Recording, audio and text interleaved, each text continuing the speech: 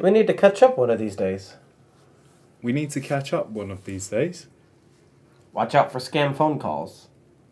Watch out for scam phone calls. Let's stretch our imagination. Let's stretch our imagination.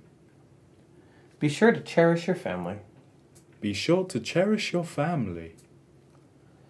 They're going to slash our budget. They're going to slash our budget.